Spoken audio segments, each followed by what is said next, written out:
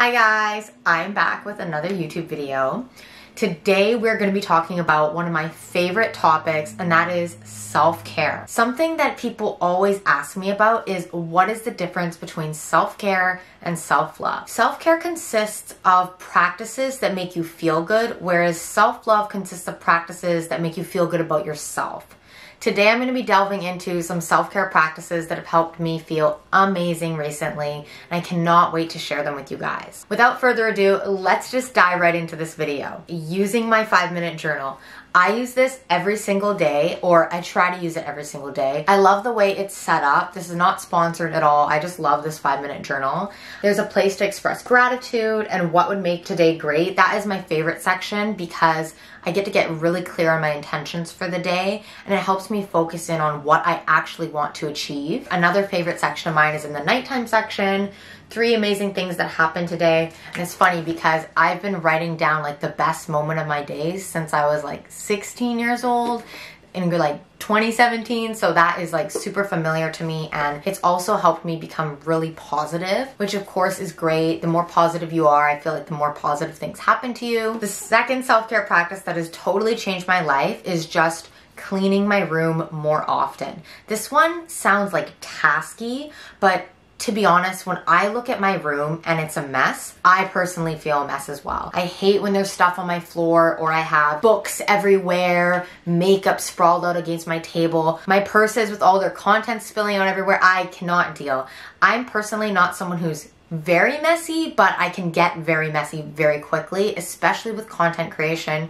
You're always trying to make your backdrop look nice there is literally a ton of stuff on the other side that you don't see behind the camera. Once I'm done this video, you can guarantee the first thing I'm gonna do is clean my room so I have a clean mind and I can continue on with whatever I want to do today. The third self-care practice I wanna talk about is decluttering. This is different than cleaning your room or cleaning a space because decluttering is actually getting rid of things. Whether it is on social media, I find that sometimes I need to do a social media detox or I call it a social media declutter where I will unfollow accounts I'm no longer resonating with or even just images on my camera roll. I'm always trying to delete images off of it because I take photos of everything and it's just too many moments. I don't need to remember absolutely everything I'm doing in a day. Or on my computer, there's files. I don't need stuff from grade 8 or anything really from high school. I can delete that stuff. That feels amazing. And then in general, just decluttering your room. I love going through my closet now. My mom used to make me do this when I was little and I absolutely hated it, but now when I clear out my closet, I'm so happy because that means there is more room for me to buy stuff. So personally, that one is a big one for me. Exercising in a different way at least once a week. I work out pretty much every day or I exercise pretty much every day. I tend to like to exercise, feel better when I exercise, but it does get boring. And when things get boring, it becomes a chore and it's no longer fun. So for me, changing up my exercise routine has really helped me like further enjoy like movement.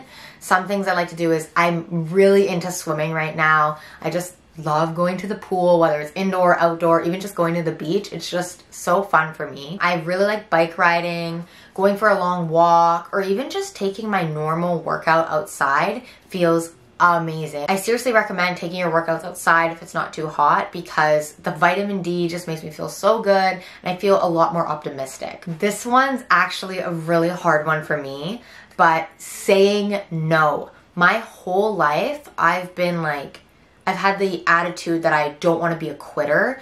And sometimes you have to quit things because if you're doing something you don't love, you are wasting your time. And this has been something that's been very difficult for me to learn. But it's not even just about quitting, it's just about if you're too exhausted to do something that day, you have to take the time and just say no. Sometimes your priorities have to shift and you have to prioritize yourself and what you need in the current moment. If that means missing school or it means missing a class or taking a sick day, so be it. Your health and your mental health are much more important than whatever obligation you feel you have. This one is not doing anything that is considered work in bed. Honestly, this is a hard one for me because I used to do that all the time. And there are times I still do it, but it's sometimes because that is when I get a creative flow. But I try really hard to not do work in bed because it keeps you up late. You get more exhausted. You don't really get that rest.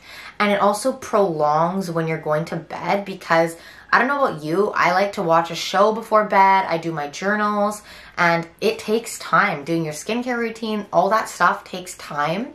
And if you are working in bed, and then you're doing your nighttime routine, you're probably gonna be going to bed about an hour or two later. And this has happened to me so many times, but it's something that I've kind of pulled the plug on and now I very rarely do work in bed. And if I do, it's maybe something fun like picking some photos out for a photo shoot or just doing some content creation stuff. But I really make sure that I want to do it and that it's going to be fun because if it's not, then I'm really just working longer when I'm supposed to be resting. This one is an absolute game changer. Planning out my week in advance and then doing daily planning, like writing down what tasks I want to accomplish the night before. This really, really helps me because again, it helps me get really clear on those intentions I want to set for the day. I've been messing around with some new planning methods and I want to be able to identify like where my goals are in different areas of my life and I want to move forward like every week. So this has been something I've been kind of working at and trying to get a system, but I've discovered that the best way for me to do this is I have to identify all my roles in life and what I'm doing. Like, I'm not just me, I'm also a content creator, I am a family member, a friend, a swimmer, a cheerleader. Like, these are roles in my life that have different goals associated with them. And I just finally hit the roof and I wrote everything out. I wrote down every piece of content I want to create for the next week or two. And that actually helped me because now I'm so much more organized. I don't have anxiety about what to do. I've designed a schedule for myself that is flexible so that if I do want to do some spontaneous activity because it's summer and I want to enjoy my life, I can.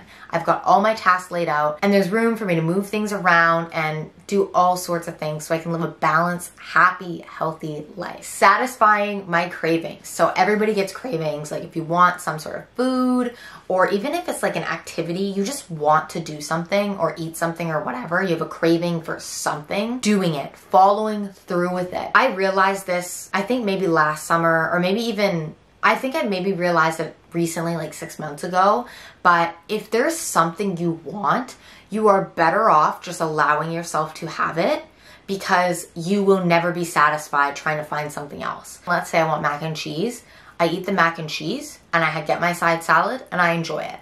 I'm happy. I don't feel bad about it the next day or ever because I wanted it and then I carry on. This one's actually very new for me and it's something that I've only been doing now for, I want to say two weeks or maybe a month, I would say. Yeah, probably almost about a month. And this is like taking vitamins and minerals. I never took any vitamins before. I take a B vitamin, complex of like 100, makes me feel amazing. But even more so, I'm taking iron and my iron's not really that low, but oh my goodness, what a difference it makes taking iron. I feel like when I don't take iron, I'm running on half energy. And when I do take iron, I'm like full out, ready to go, ready to accomplish everything I want. Hear me out. This is a bit of a weird one, but listening to podcasts. Podcasts can be like, they can be educational or fun or whatever, but for me, whenever something's in my environment, like if I hear something, I see something, I smell something, it really absorbs into me. Sometimes, like if I listen to a podcast that, if the topic's negative or it makes me feel a certain way that I don't like,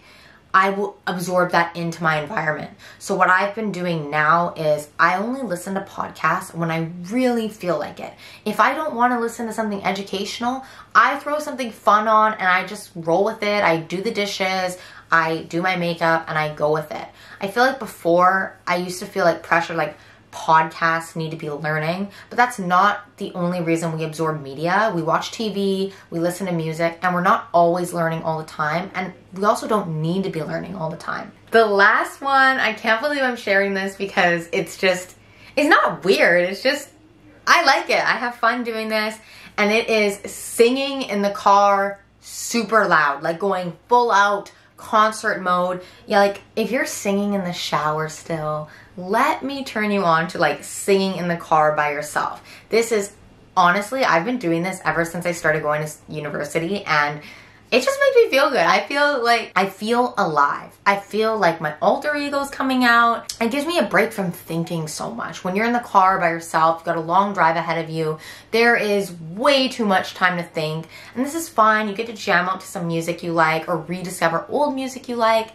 And I personally love it. It's so fun. I hope you guys like this video. Self-care and like self-love topics are my jam what I like the most. So if you guys like this video, please give it a thumbs up because I am so happy to share these tips with you. I feel like I've learned a lot on my own journey. I'd love to share what I've learned with you guys so I can help you on your journey too. If you like this video, please give it a thumbs up and don't forget to subscribe down below. I will see you guys in the next.